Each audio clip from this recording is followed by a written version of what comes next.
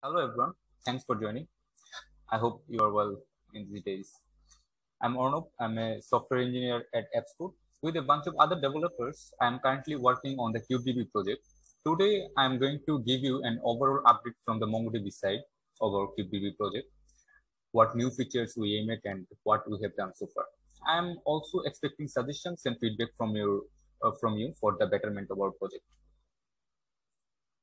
In this webinar, uh, I will uh, cover these topics. Firstly, I will introduce you to in-memory MongoDB replica set and sharded cluster. Then I will deploy in-memory MongoDB replica set and sharded cluster and check some uh, manual failover by deleting uh, the ports and we'll check the high availability also. And then I will uh, create a vertical scale ops request to scale up the in-memory MongoDB replica set vertically, and then the horizontal scaling of request to scale up the sharded MongoDB cluster horizontally. And lastly, but not leastly, I will introduce you to auto-scaling with integrated VPA for in-memory storage. I will do all of these things with a live demonstration. So, so that when you try hands-on on your own, you can do it easily. So uh, let's first introduce to in-memory database. On the left-hand side, you can uh, see that uh, traditional structure of MongoDB replica set, where one primary and two secondary uh, is uh, cooperating each other. And uh, the secondary ports are actually replicating the oplogs from the primary. Oplog in MongoDB is special kind of capped collection, a fixed size collection that overrides its oldest entries when it reaches its maximum size you can uh, consider it as the rolling history of data modification commands. On the right hand side, you can see in-memory structure, and there you can uh, you can see that there are uh, actually no disks here. And uh, starting in MongoDB Enterprise version 3.2.6, the in-memory storage engine is available. Other than some metadata and diagnostic related data, the in-memory storage engine doesn't maintain any on-disk data. It stores all of its configuration data, indexes, user credentials, and actual uh, the collections directly onto the pod memory. By avoiding a disk storage, the in-memory storage engine allows for more predictable latency for database operations. But there is a huge downside that should be remembered when using in-memory databases, and that is uh, for uh, some reason let's think uh, for some reason all the replicas restart together and uh, all of your data will be get lost because the data was kept in the pod memory and there that is so important that you should think about this issue seriously before uh, deploying a in-memory database. So uh, let's start the demonstration. Here uh, you can see some resources. Uh, these are the resources you can use for the follow-up uh, of this demonstration. Here you can uh, go to the uh, licensor issuer.appscode.com for the KubeDB license, and uh, you can go to kubedb.com uh, for uh, the documentation of KubeDB and uh, MongoDB. You can also check out our YouTube channel where you can find some important videos on some stuffs related to Kubernetes. So here is the installation commands uh, I have uh, already installed KubeDB operator. So you can uh, check the following uh, link given in the previous page so that you can get the license. Here you should keep the license here. And here is a good thing uh, I want to announce is that uh, we are going to cut release next Friday on August 5th. So here is the in-memory replica set YML that I'm going to deploy. Its API version is kubedb.com V1 alpha 2, which kind is MongoDB. The name is MGRS in DB namespace. The version I'm using is Percona 4.4.10. There are three replicas, and uh, these are the spec. You can see that uh, it's uh, 500 M CPU and uh, 500 MB of memory for each of the ports. Here you can see uh, the config secret field. Uh, here you can give the secret uh, for in-memory MongoDB replica set. And this is the storage engine is in memory. You already see. And the storage type is Ephemeral. I have also used uh, the TLS. So I need to uh, give the issuer name, Mongoose issuer, and I need to uh, create the issuer and the secret for that.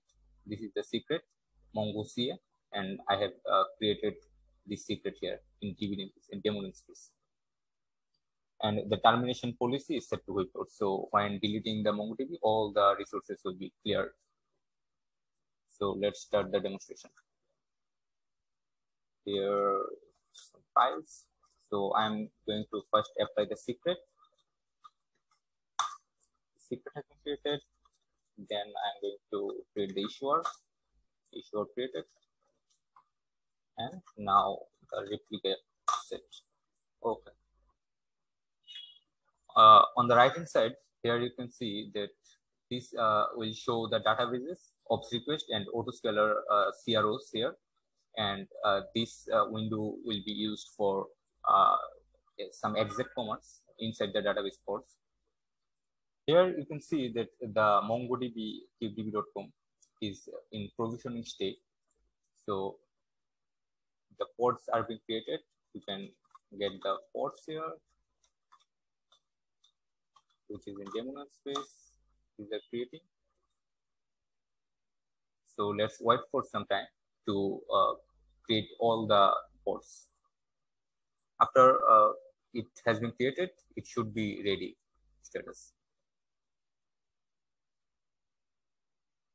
See what is happening. Yes third port is initializing.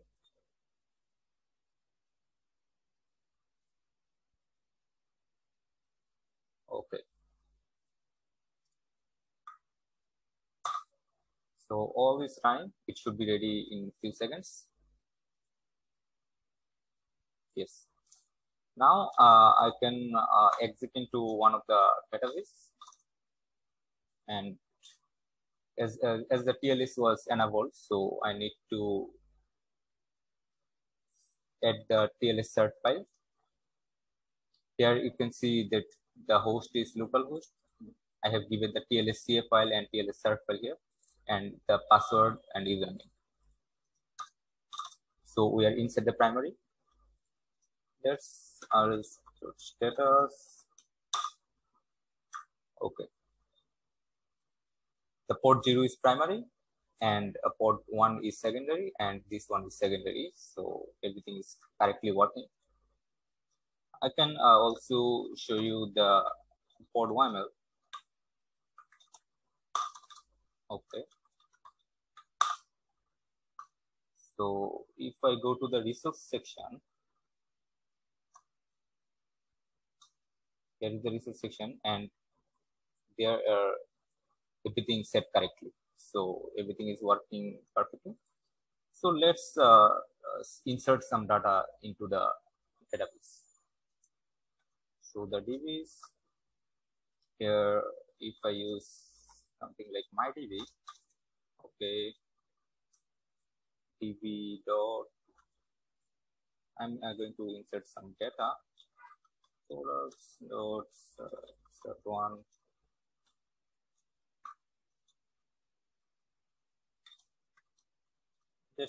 some random data.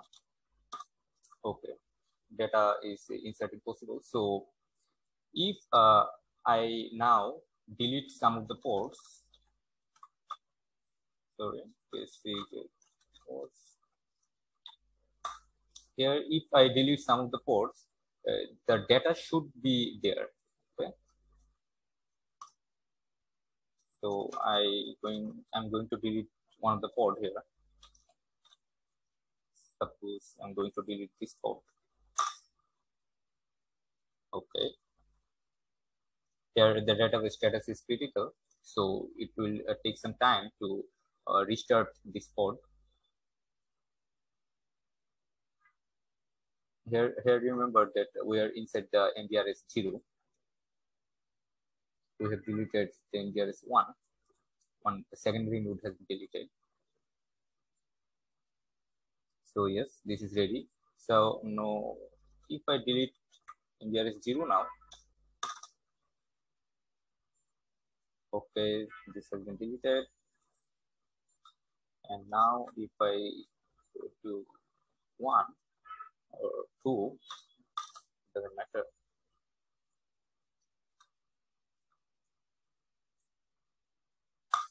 Okay this is the primary now. Let's see the status. Here, this is the secondary, this is the primary, we're inside it, and this is secondary. So database is ready state. Now, if I show the database, here you can see that my db is there. And if I use my db and show the collection and dot products dot here you can see that the data is persistent so manual, manual failover is uh, done perfectly and you can see that this is highly available. So we have uh, shown you that. So there was, uh, it was the MGRS0, it was MGRS1, it was MGRS2, it was replicating that data. We have inserted the data in the primary and the secondary was uh, replicating from it. And we have manually deleted the MGRS0. So it was for sometimes uh, out of the replica set and MGRS1 has become primary and when it is uh, being ready, so it will join as a secondary. So everything is fine. Now I'm going to uh, show you a Mongo MongoDB ops request uh, called uh, type vertical scaling.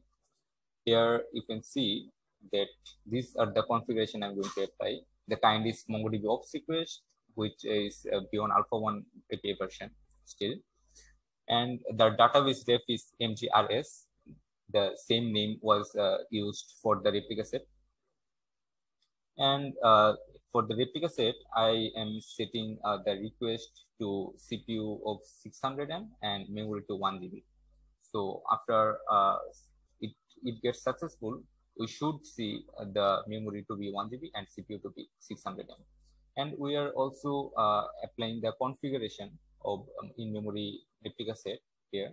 You can see that the secret is being used to do that. You can also uh, use use this structure where the inline config can be directly set the uh, MongoDB configuration. So you can follow either this or this and you should uh, create the secret before applying this structure. So let's apply now article. Here you can see that the MongoDB ops request is progressing state. It is it will restart all the three ports one by one and then rejoin to the replica set. You can see the port situation. One has been already restarted. So it will uh, restart two secondaries first and then the primary. You can watch this so that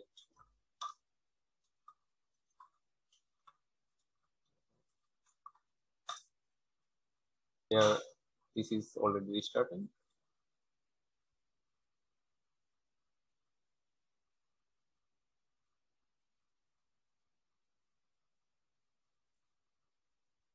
after restarting this secondary, this primary will be restarted too.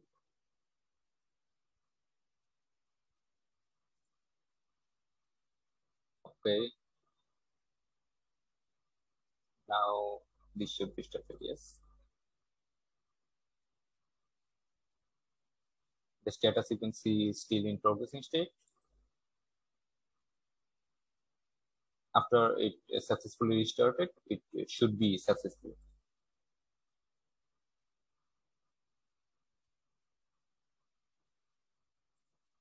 In the same time, I can exit into one of the four.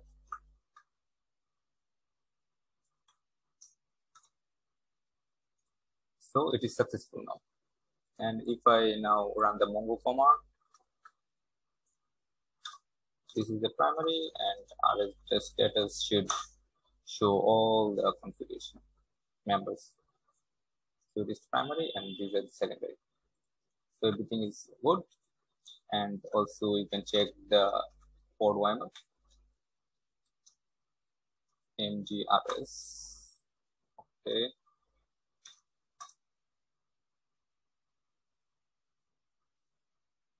so yeah, everything is good. So now i'm going to uh, delete those. The vertical of request and also the database.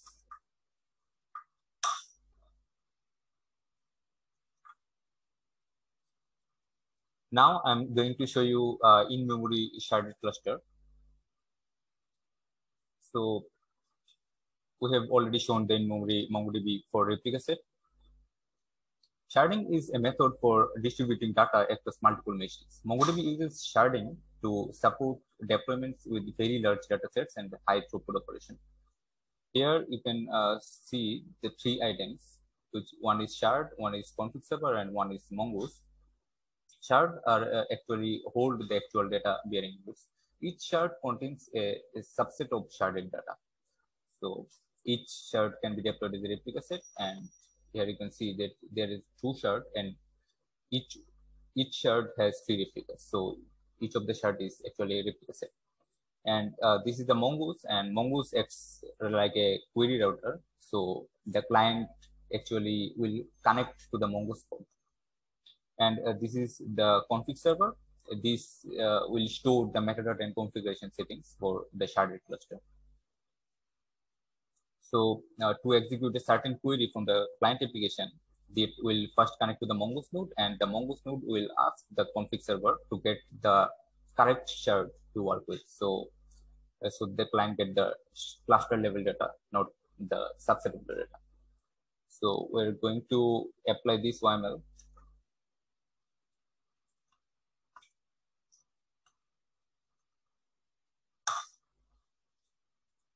let's see what was in the YML.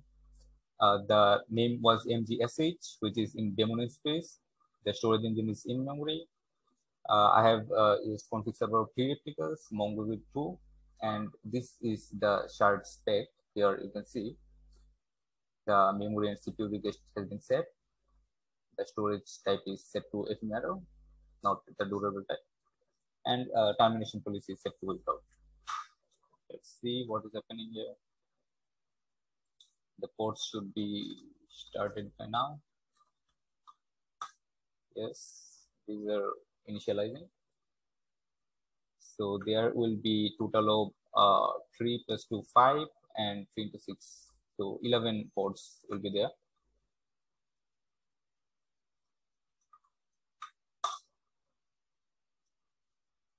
They're initializing.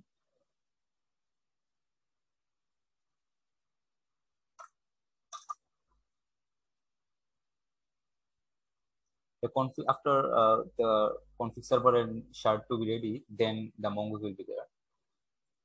And the STS, which is stateful set.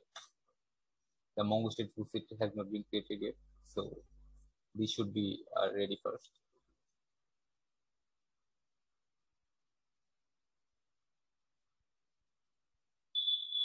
Okay, now the mongos has been created.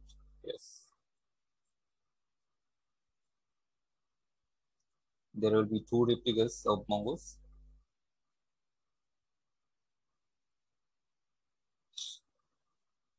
uh, let's wait for some time.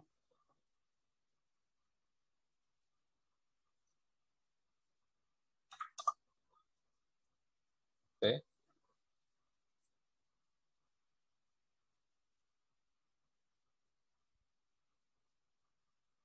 So yeah all the pods is running now and this should be uh, successful in a few seconds. Okay, this is ready. Uh, I can exit into one of the port. Uh, let's see, I'm going to use this one. Okay. And if I uh, now want to show the client ops, which is this command, need to first log in.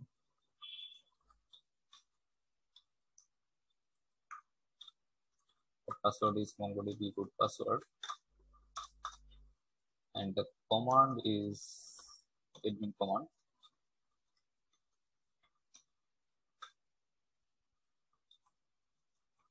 which is gets in the timeouts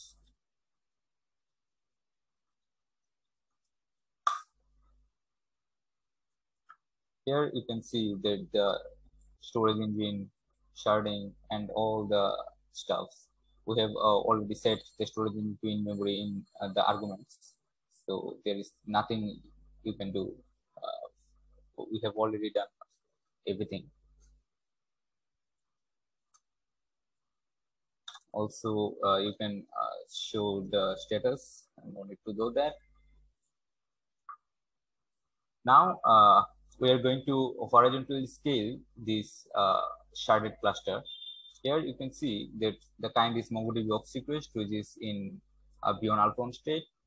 The name is going to be horizontal in daemon space. The type is set to horizontal scaling. The database rep is mgsh, which is uh, this this one mgsh, and it has uh, the the spec I'm specifying it that it should be three shards and four replicas.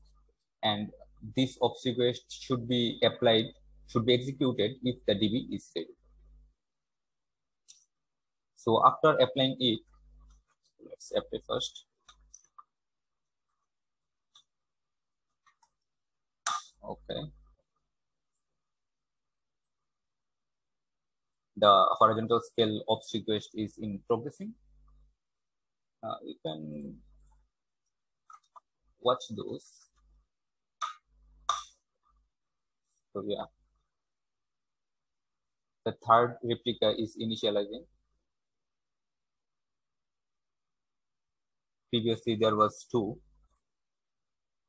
Uh, previously there was three and the port is running. We have uh, specified here. The replicas count is four. And there should be three shared previously there was two shard, which was shard 0 and shard 1. And now shard 2 is creating, is being created. So this shard also uh, needs four replica. So they will uh, be created one by one. You can also get the stateful sets here and here you can see that there are three shards and four replicas So after creating the replicas and shards, uh, it will uh, restart the two mongos so that the mongos uh, get the updated uh, shard configuration.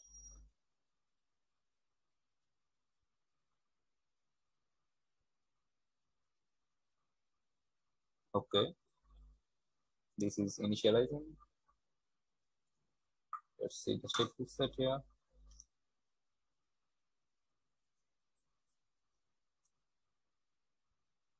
Okay, all uh, all the replicas and shards has been created and running. So we can now restart the mongos.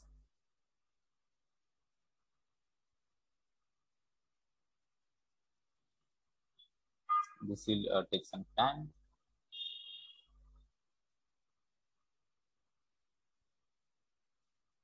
After the mongos uh, in running state, the, it should be successful and uh, the DB should be in ready status.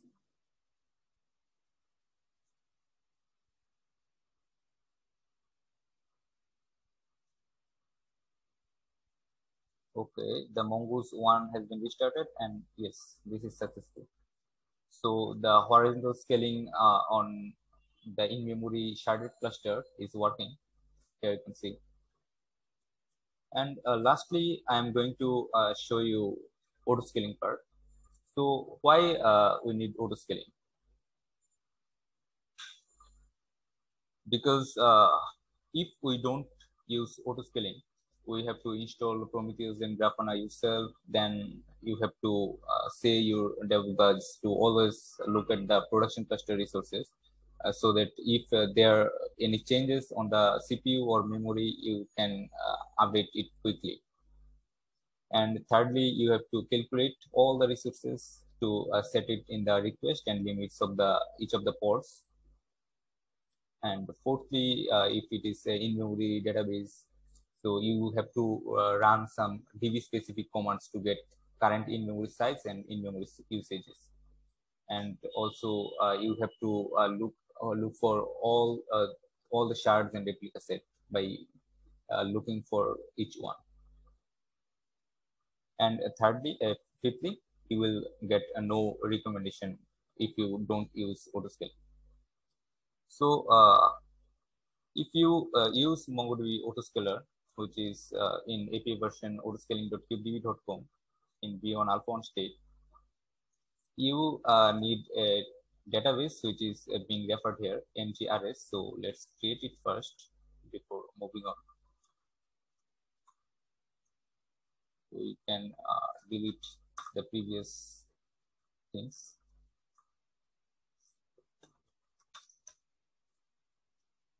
Shard.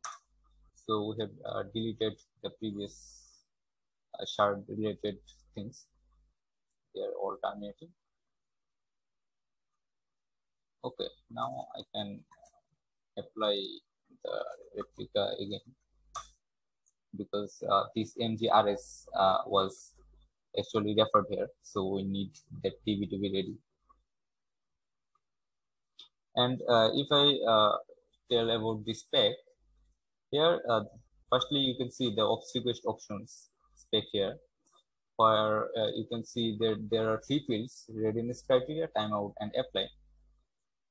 These options actually uh, will uh, trigger the ops request specs. So this, if if it is set to if ready or it can be value of always. So if it's set to if ready the if the db is ready only if, when the obstacle will be applied. And if it is set to always uh, the obstacle will always be applied. This is the timeout where each of the operation should not take two a minute. If uh, some operation take more than two minutes that will be uh, called as a failed uh, status. And here is the readiness criteria. So we, we are setting the oplog max seconds to 10 and the objects count the percentage to 10 uh, which which is saying that the uh, if uh, if there are two ports and the object count there are some object count different dif difference. So that should be not that should be less than 10 10 percent. And here you can see that this is the compute spec here we are uh, going to uh, see uh, to watch this replica set the trigger is on so the recommendation will be created. And the pod lifetime uh, threshold is three minutes. So if uh, the pods have not been uh, restarted in less than three minutes we should not restart it then and this is the min, min allowed so we have set the CPU to 600 M and memory to 250 MB. This is the max allowed. And uh, this is the in-memory storage, you can see. So usage threshold is uh, set to 70%. So if uh, the uh, in-memory storage usage is more than 70%, we should uh, scale the in-memory scaling factor by 50%. So if uh, the uh, in-memory storage is currently 100 MB. Uh, so after scaling it 50%, it should be uh, 150 MB. So this is the auto scale spec. Now we are going to apply it. Okay, the auto scaler is being applied. Here you can see that there is already a uh, progressing. Uh, let's see its spec. It has been created by the autoscaler. Let's see why it has been created. This is the name, just copy. Here uh, you can see that the memory is being set to 659 MB. Uh, why so? Because we have already uh, have a secret called in-memory config, which is 0.4 GB. So if I calculate 0.4 GB, 0.4, which is uh, 409 MB, this is the in-memory storage. And we have uh, specified the minimum memory should be 250 so this is the pod memory 250 and uh, 409 is the in-memory so 409 plus 250 and this is the total uh, memory request that has been applied. As uh, it was uh, set in the min allowed. So after the auto scaling applied this has been created automatically the pod is being restarted. After uh, restarting all the pods, we should be successful and yes, this is successful. So if I now exit into one of the pod, let's see the pod names. These are the pods. Uh, let's see, we're going to exit into this pod. And as uh, the TLS is enabled, so we need the whole command for which you have already uh, seen the PEM file, the certificate file, and the CF file has been set here.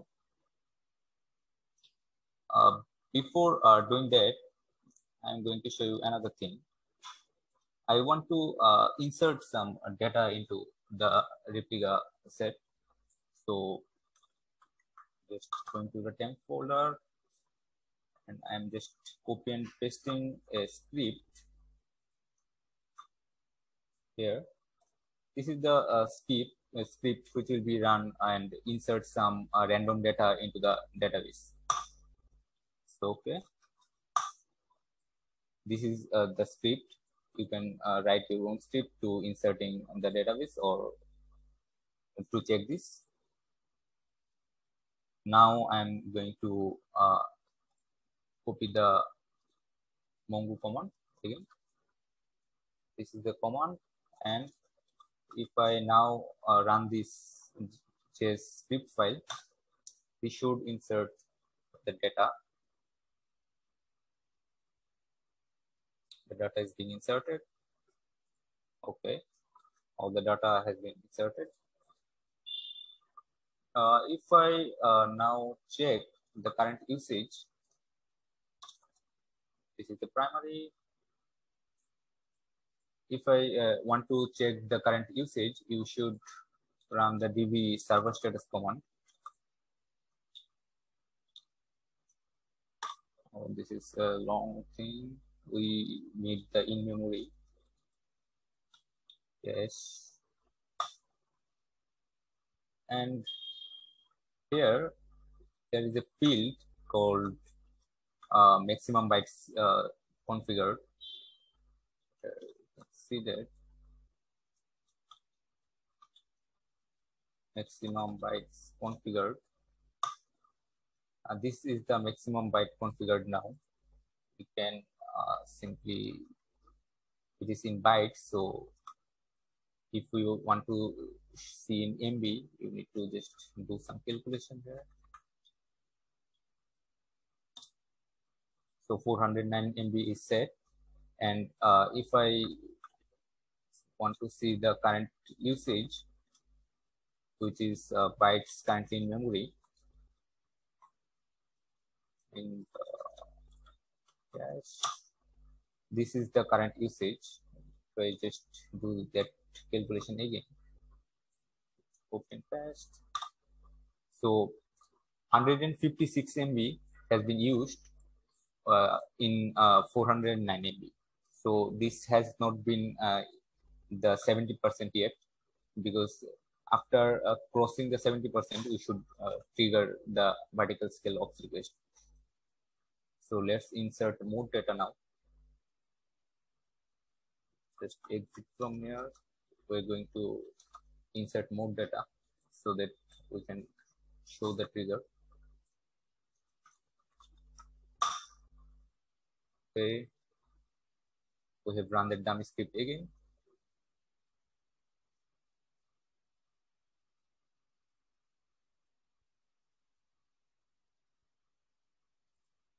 The data has been inserted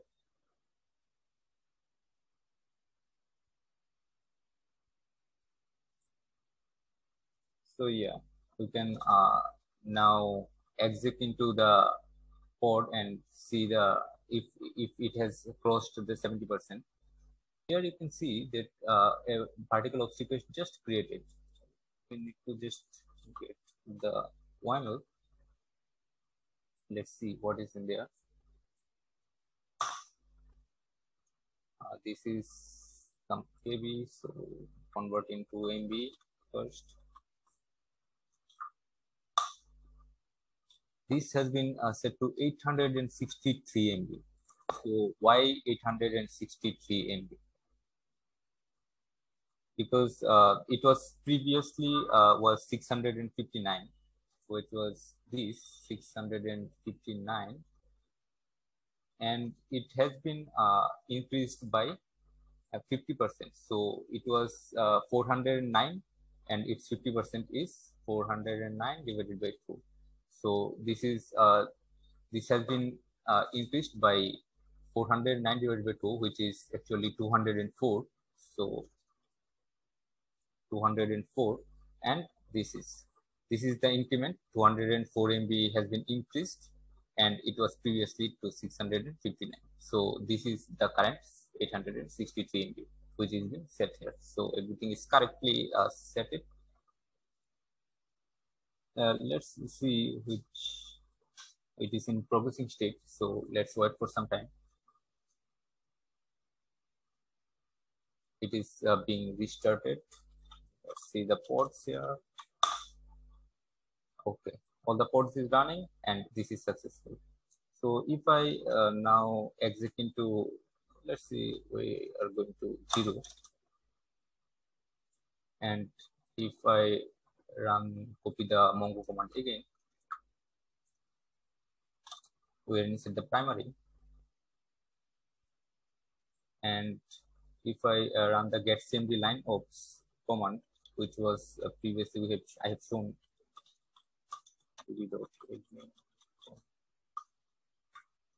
The command name is get cmd line ops one and here you can see that the in-memory size has been increased. It was previously 0.4 and now it has been set to 0.599. So if I just do the calculation again, it, it is in GB. So if I convert to MB, to just multiply